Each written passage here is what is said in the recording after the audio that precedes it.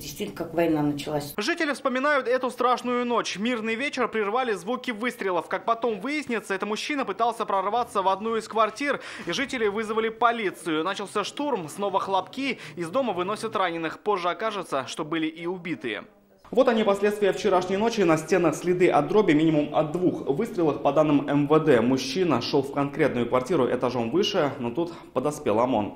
При задержании от рук дебашира с ружьем погиб ОМОНовец Денис Иванченко уже в карете скорой помощи. У него остались жена и трое детей. Вы можете уйти отсюда, нет?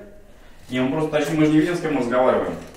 Ну, не надо видеть. Мы думали, кто-то здесь из полиции. Все, есть, все, отойдите, говорю, от двери. Не нужно здесь разговаривать, здесь куча детей. Сегодня дверь в эту квартиру сняли с петель. Внутри супруга Стрелка и ее дети. По материалам МВД именно к ним направлялся мужчина. Там он начал стрелять по входной двери.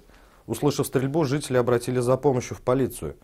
Прибывшим на месте сотрудникам 37-летний мужчина оказал вооруженное сопротивление. На спецоперацию были брошены главные силовики республики, в числе командующих замминистра татарстанского МВД Рафаиль Гельманов, глава татарстанской Росгвардии Рустем Гумеров, замначальника следкома Марат Зарипов. Вокруг дома эшелоны спецназа. Мне кажется, раз шесть, что ли, он стрелял все. Ну вот выстрелит, потом опять выстрелит, и вот это. Мы думали, кто-то налив засрал, что ли, звучат. Мы поднимались, видели, заряжает, убежали.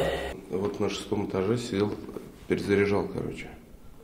Все, вот мы побежали, вот он стрелять начал.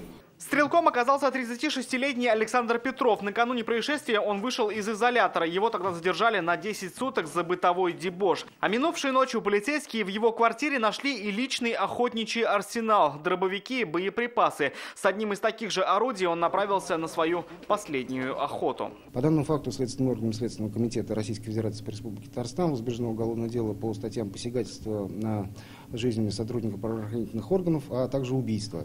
Проводят следственные действия, направленные на установление всех обстоятельств произошедшего. Расследование уголовного дела продолжается. Словом, еще не все соседи поняли, кто все это устроил. Если одни называют его знатным дебаширом, другие говорят, что впервые его видят, и никто из запрошенных не знал о том, что к ним наведывался охотник. Так хранил ли Петров оружие для охоты, выясняет следствие. Рамиль Шайдурин, Андерсон Тальцев, ТНВ, Казань.